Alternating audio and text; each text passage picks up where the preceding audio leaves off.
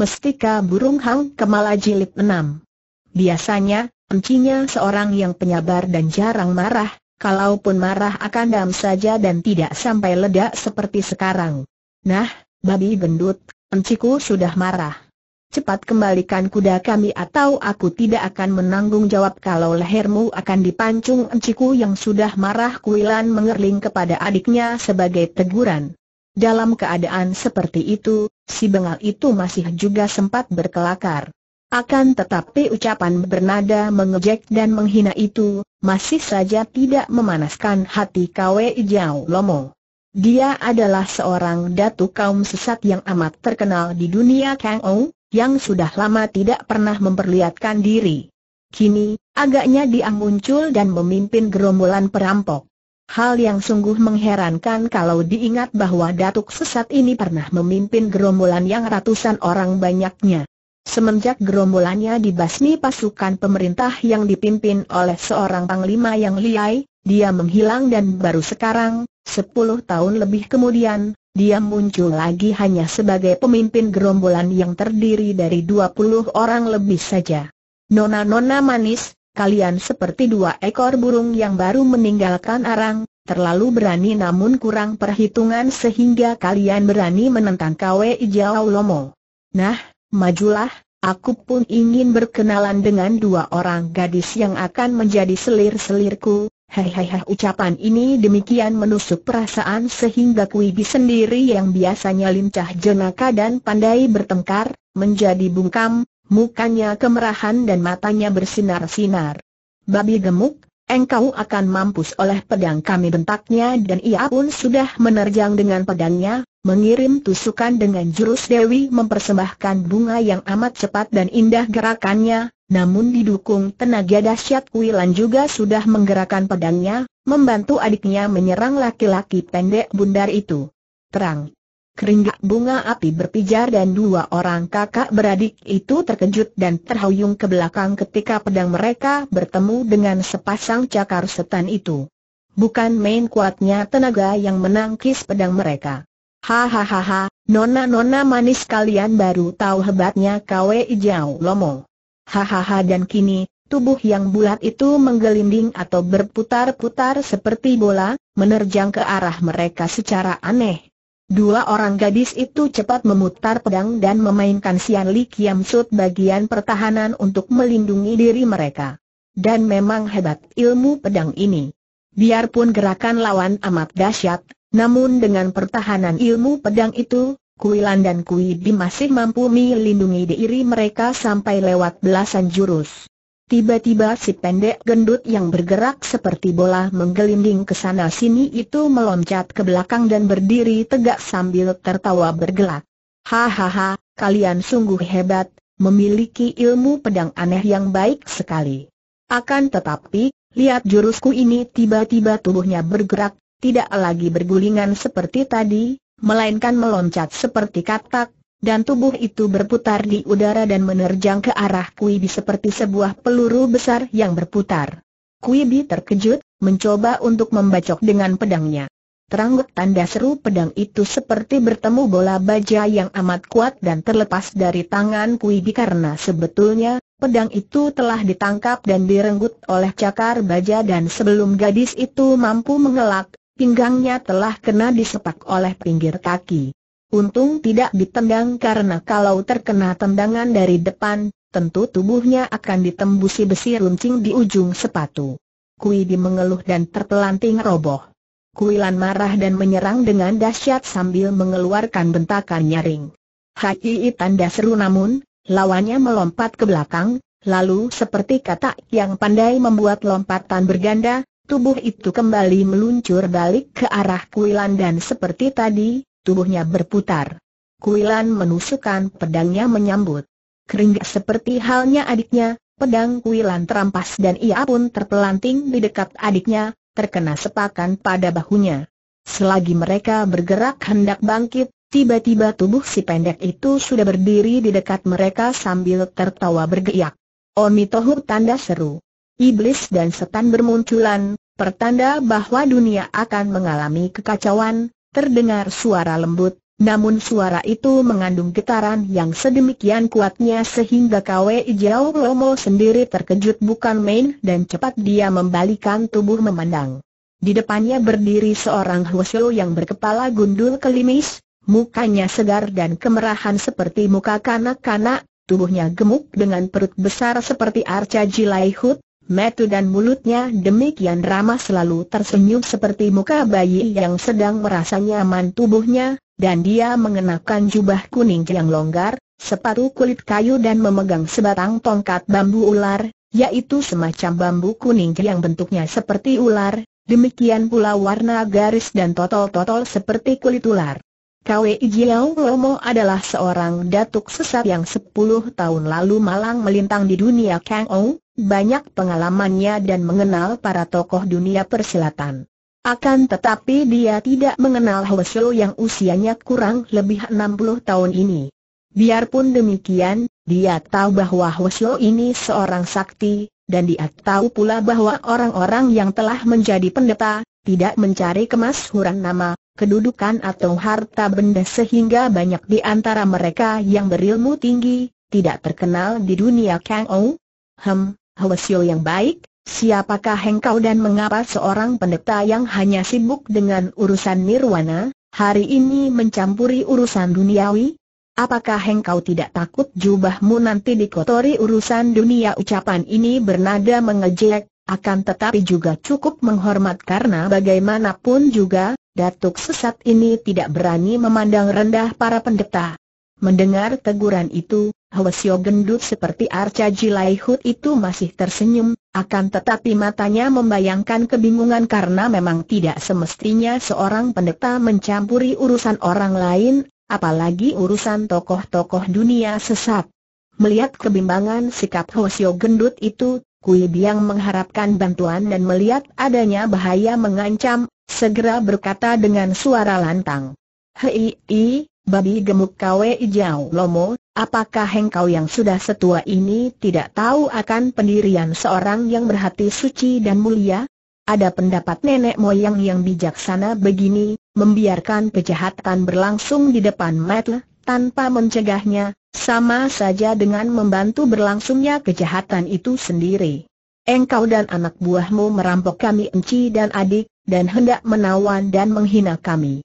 Kalau Lo Suhu ini membiarkannya saja, berarti beliau telah membantu perbuatan keji dan jahat kalian dan beliau tentu tidak mau disebut antek perampok-perampok seperti kamu bocah setan. Tutup mulutmu kawe ijau Lomo dengan marah membentak dan dia menubruk maju, menyerang dengan cakar kirinya untuk membunuh agar gadis itu tidak banyak cakap. Yang Kuibi cepat mengelak dengan melempar tubuh ke samping, akan tetapi angin pukulan yang dahsyat membuat ia terpelating. Gadis ini tabah dan cerdik. Begitu tubuhnya terpelanting, ia sudah bergulingan ke arah Wasyo gemuk sambil berseru, lebih baik mati gagah sebagai harimau daripada hidup pengecut macam babi jelas bahwa ucapan ini ditujukan kepada Hwasyo, untuk mengejeknya dengan maksud agar hati Hwasyo itu tersentuh. Hendak lari ke mana kau bentak kawe ijau lomo. Dia mengejar dan memukul lagi, tiklak perkeluli kepala Hwasyo yang beraklak lekat gaklis yang bergulingan itu. Plak! Duk kedua cakar itu terpental dan tubuh kawe ijau lomo terhuyung ke belakang.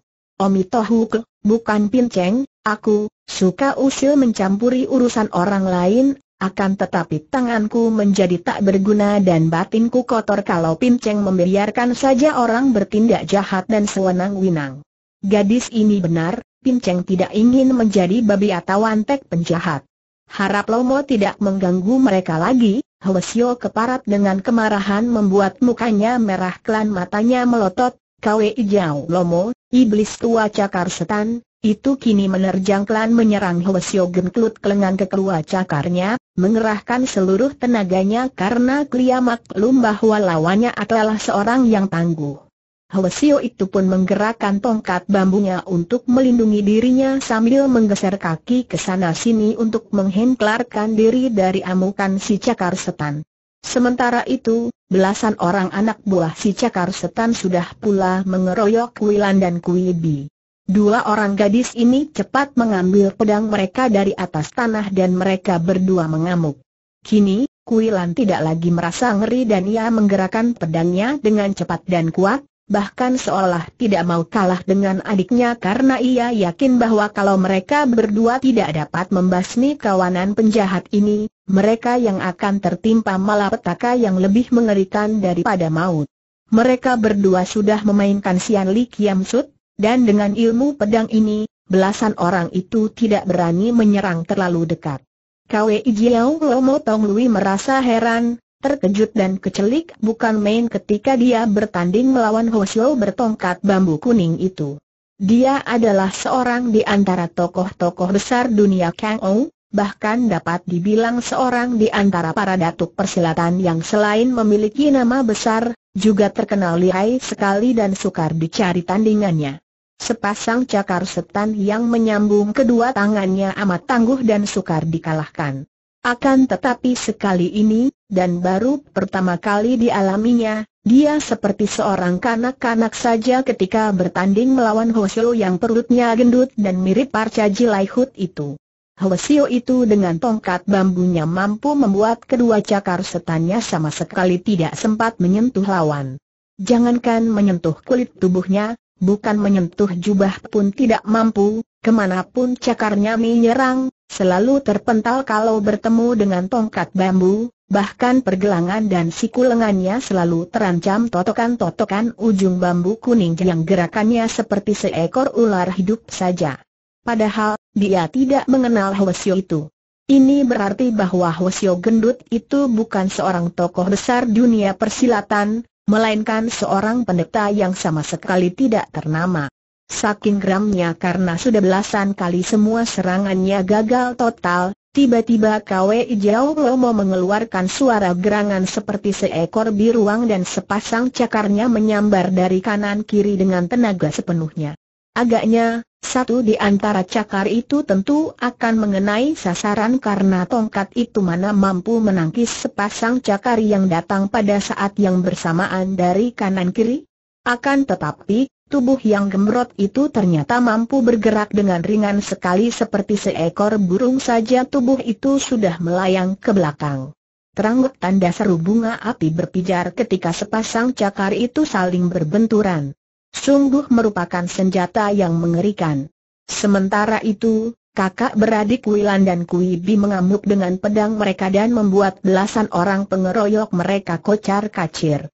Banyak di antara mereka yang terluka oleh pedang kedua orang gadis itu. Setelah dua orang roboh tewas dan lima yang lain terluka, para pengeroyok itu menjadi gentar dan sambil menyeret kawan-kawan yang terluka, mereka lalu melarikan diri. Melihat betapa anak buahnya melarikan diri dan dia sendiri pun tidak mampu menandingi tongkat bambu yang amat lihat itu, Kwe Jiao Lomo maklum bahwa kalau dia nekat melanjutkan perkelahian, akhirnya dia akan mendapat malu. Hwasyo usil. Biar lain kali aku mencarimu untuk membuat perhitungan katanya sambil melompat ke belakang melihat Hwasyo itu hanya menyeringai lebar dan tidak mengejar, dia pun melompat dan melarikan diri. Dua ekor kuda milik kakak beradik itu ditinggalkan oleh kawanan perampok. Omi Tohut, hanya dengan kemampuan seperti itu sudah berani memaksakan kehendak mengganggu orang lain kata Hwasyo itu sambil tersenyum. Kalau dia menghendaki, tidak akan terlalu suka baginya untuk merobohkan si cakar setan itu tadi. Akan tetapi dia tidak mau melakukan itu dan kini dia memandang kepada dua orang gadis yang sudah menjatuhkan diri berlutut di depan kakinya. Lo Chiam Puat telah menyelamatkan nyawa kami kata Kuilan. Kami menghaturkan terima kasih Lo Chiam Puat, kata pula Kuibi, kami akan membalas budi Lo Chiam Puat dengan melayani semua kebutuhan Lo Chiam Puat kalau sudi menerima kami sebagai murid. Hwasyo itu tersenyum, Mi mandang kepada mereka dan matanya berseri ketika dia memandang kepada Kui Bi. Omi Tohut, kalian ini gadis-gadis petualang telah memaksa Pinceng sehingga terseret ke dalam perkelahian. Luar biasa sekali maaf, Lo Chiam Pual, kata Kui Bi yang memang lincah dan pandai bicara. Bukan kami yang memaksa Lo Chiam Pual, melainkan kemuliaan hati Lo Chiampu sebagai seorang pendeta suci dan orang tua gagah perkasa berwatak pendekar yang memaksa Lo Chiampu turun tangan menolong kami.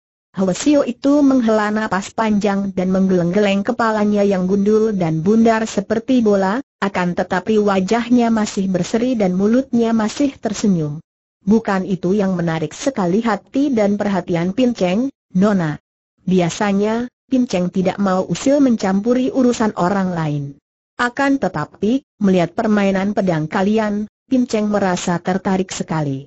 Bukankah ilmu pedang yang kalian mainkan itu adalah Sian Li Kia Sut? Ilmu pedang Dewi kakak beradik itu saling pandang dengan heran, lalu keduanya mengangguk tepat sekali dugaan Lo Chiampul. Memang kami tadi memainkan Sian Li Kiam Sut, akan tetapi karena kami baru saja mempelajarinya, Latihan kami belum matang, kata Kuilan. Hwasio itu mengangguk-angguk hem, engkau benar, Nona. Kalau latihan kalian sudah matang, mana mungkin si cakar setan itu akan mampu mengalahkan kalian dengan mudah? Jadi kalian ini murid Sim Tung Kai Ong? Inilah yang menarik hati Pin Cheng untuk turun tangan tadi, Kui Biang cerdik hendak mengatakan benar, akan tetapi kakaknya lebih cepat, Kuilan seorang berwatak lembut dan sama sekali tidak suka berbohong, dan ia sudah khawatir kalau adiknya berbohong. Tidak, Lo Chiampu kami bukan murid orang yang namanya Lo Chiampu sebut tadi, eh haha. Lalu dari mana kalian dapat memainkan Sian Li Kiam Sut?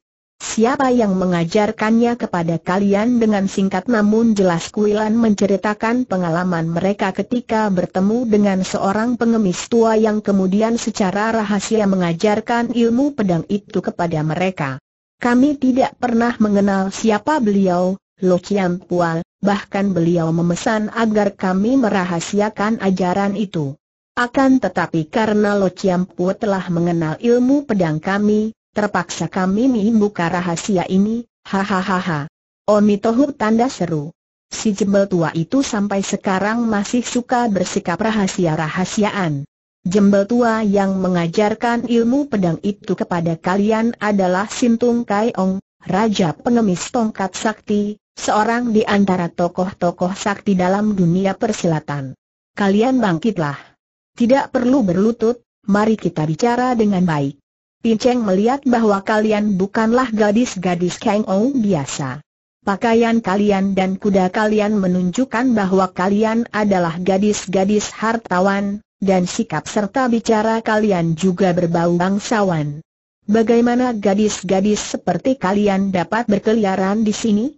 Pinceng Kong Hwe Ihos yang paling tidak suka melihat kepalsuan, maka kalau kalian tidak ingin Pinceng tinggalkan sekarang juga, Ceritakan sejujurnya siapa kalian dan mengapa pula dapat berada di tempat ini, melihat wajah yang cerah dan penuh senyum itu kini nampak bersungguh-sungguh, Kui Bi tidak berani main-main lagi.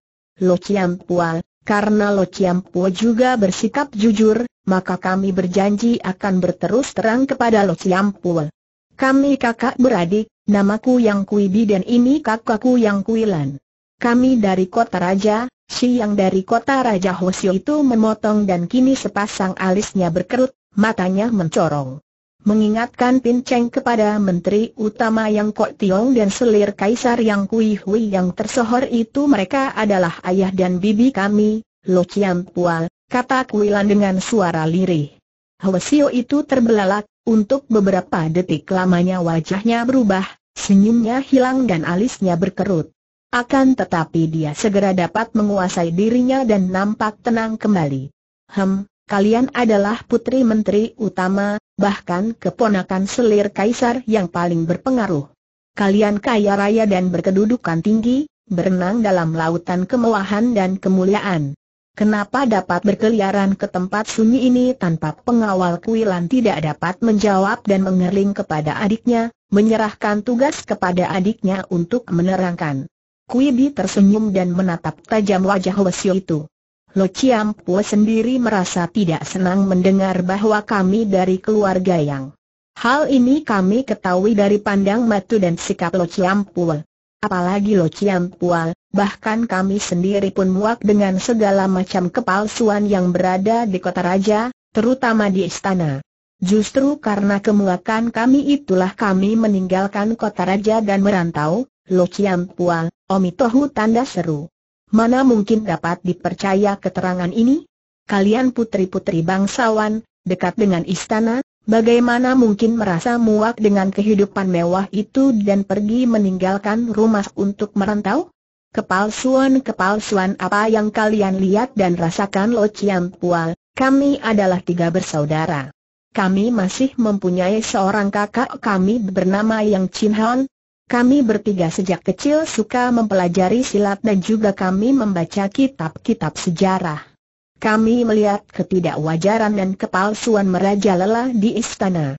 Sri Baginda Kaisar seperti boneka di tangan bibi kami yang Pui Hui. Ayah kami pun diangkat menjadi menteri utama bukan karena kecakapan dan kemampuan melainkan karena jasa bibi yang Hui. Kami muak dengan semua itu dan kami bertiga meninggalkan rumah. Kami ingin bertualang, ingin bebas merdeka seperti burung-burung di angkasa. Kami ingin meluaskan pengalaman dan memperdalam ilmu kami.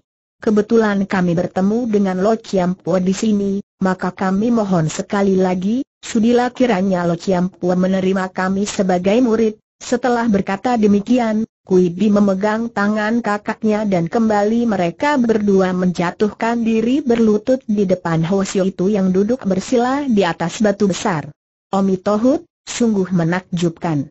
Betapa akan bahagianya bangsa dan negara kalau semua orang muda seperti kalian ini, tidak silau oleh kesenangan melainkan dapat membedakan mana yang baik dan mana yang buruk. Namun, agaknya masih sangat sukar untuk percaya begitu saja. Kalau kalian ingin menjadi murid Pinceng, dapat Pinceng menerima kalian namun dengan satu syarat. Apa syaratnya, Lord Ciampu? Kami siap memenuhinya, kata Kuibi dengan tegas. Syaratnya, kalian harus taat, dan selama dua tahun penuh kalian tidak boleh meninggalkan kuil di mana kalian akan Pinceng titipkan. Selama dua tahun itu, apa pun yang terjadi di kota raja, kalian tidak boleh meninggal kuil dan harus melatih semua ilmu yang Pinceng ajarkan dengan tekun. Nah bersediakah kalian memenuhi syarat itu saya bersedia kata Kuibi tegas. Saya, saya, bagaimana kalau ayah dan ibu menjadi gelisah dan sedih karena selama itu kita tidak pulang, Bimoy Kuilan meragu. Lanci, bukankah kita sudah bertekad meninggalkan semua itu? Setelah lewat dua tahun, baru kita pulang bantah adiknya. Omi Tohut, kalau kalian tidak rela, jangan memaksa diri agar kelak tidak akan menyesal dan menyalahkan Pinceng, kata Hwasyo itu dan tanpa diketahui dua orang gadis itu, dia memandang mereka dengan sinar mata yang tiba-tiba membayangkan perasaan iba yang mendalam. Sudahlah, Lanci, bagaimana kita dapat melewatkan kesempatan baik ini? Bukankah selama ini kita mendambakan seorang guru yang sakti kuilan menyerah baiklah, saya bersedia melaksanakan perintah dan memenuhi syarat itu, katanya. Bagus. Nah, sekarang tunggangilah kuda kalian dan ikuti Pinceng pergi dari sini nanti dulu, Lo Ciampul. Kami belum melakukan upacara pengangkatan guru, kata Kuibi dan ia pun kembali menggandeng tangan encinya untuk berlutut dan memberi hormat delapan kali ke ada Hosio itu sambil menyebut suhu. Hwasyo itu yang kini telah mendapatkan kembali kegembiraannya, tertawa-tawa sampai perutnya yang gendut itu bergerak-gerak, seolah ada kehidupan bersendiri dalam perut yang besar itu. Sudahlah, Pinceng senang sekali mempunyai murid-murid seperti kalian, kata Kong Hwe Hosyang dan sekali menggerakkan tangan, ujung lengan bajunya menyentuh pundak dua orang gadis itu dan luar biasa sekali, Kuilan dan Kui Bi merasa seperti terangkat oleh angin yang amat kuat sehingga mau tidak mau mereka bangkit berdiri dan memandang kagum karena mereka mengerti bahwa gerakan guru mereka tadi merupakan pengerahan Sin Kang, tenaga sakti, yang amat kuat. Akan tetapi, suhu. Bagaimana mungkin Teocu berdua menunggang kuda sedangkan suhu berjalan kaki? Biarlah Teocu dan Enci Kuilan berboncengan dan suhu menunggang kuda Teocu, Murid Hosio itu tertawa bergelak dan mulutnya terbuka. Dua orang gadis itu memandang dengan heran melihat betapa mulut itu sama sekali tidak mempunyai gigi lagi, seperti mulut bayi. dan tertawa seperti itu, memang wajah Kong Hwe Ihos yang mirip wajah seorang bayi. Hahaha, Pinceng telah dikurniai sepasang kaki yang kuat, kenapa mesti pinjam kaki kuda untuk berdiri? Sudahlah, kalian tunggangi saja kuda kalian dan Pinceng berjalan kaki kau kira gurumu ini tidak akan mampu menandingi larinya kuda dua orang gadis itu saling pandang, merasa heran, kagum dan juga bangga, akan tetapi ada pula perasaan ingin membuktikan dan penasaran. Boleh jadi suhunya memiliki ilmu silat yang hebat, akan tetapi lari menandingi kuda? Melihat kedua orang murid itu Na MPAK tertegun dan ragu, Kong Hwe Ihos yang memberi isyarat dengan tangan agar keduanya cepat meloncat ke atas punggung kuda. Nah, ikuti pinceng katanya dan tubuhnya berkelebat ke depan dan melesat bagaikan anak panah terlepas dari busurnya. Dua orang gadis itu terkejut dan cepat mengebrak kendali agar kuda mereka berlari cepat mengejar bayangan guru mereka yang sudah jauh itu. Mereka membalapkan kuda, akan tetapi tetap saja tidak mampu menyusul bayangan yang bergerak meluncur menyusuri sungai. Padahal, mereka melihat betapa Hwasyo itu seperti melangkah biasa saja, namun jubahnya yang lebar berkibar-kibar. Mereka tentu saja menjadi kagum bukan main dan kini lenyap pula sedikit keraguan yang masih bersisa di hati Kuilan. Kegembiraan melihat kenyataan akan kesaktian gurunya membuat gadis ini dapat melupakan bayangan kerinduan terhadap orang tuanya. Guru seperti Hwasyo ini sukar ditemukan dan mereka beruntung sekali, tidak saja tadi diselamatkan dari malapetaka mengerikan, bahkan kini diterima menjadi murid. Ketika akhirnya mereka menghentikan larinya kuda di pekarangan sebuah kuil yang berada di tempat sunyi, di tepi sungai dan di kaki sebuah bukit, kuda mereka terengah dan berpeluh, akan tetapi Hwasyo itu sama sekali tidak berkeringat, dan napasnya biasa saja, masih tersenyum lebar. Wah, suhu hebat sekali. Suhu lari melebihi kecepatan kuda kami Kui berseru kagum sambil melompat turun. Suhu harus mengajarkan ilmu berlari cepat seperti itu kepada Teocuhus, Bimoi, mana ada murid mengharuskan gurunya Kuilan menegur, khawatir kalau guru mereka menjadi marah mendengar kelancangan adiknya. Omitohut. Kakak beradik memiliki watak yang jauh berbeda, akan tetapi keduanya memiliki kelebihan dan kekurangan masing-masing. Demikianlah segala apa yang berada di dunia ini, termasuk manusia. Ada kelebihannya pasti ada kekurangannya, hahaha. Kalian jangan khawatir. Kalau kalian tekun berlatih, dalam dua tahun Pinceng akan menurunkan ilmu-ilmu simpanan Pinceng kepada kalian. Ilmu berlari cepat seperti tadi bukan apa-apa, walaupun amat penting, yaitu kalau-kalau kalian terpaksa melarikan diri, tidak akan mudah, Dikejar, hahaha dua orang gadis itu pun tersenyum mendengar kelakar guru mereka yang kadang penampilannya tidak mirip pendeta bahkan lebih mirip kanak-kanak.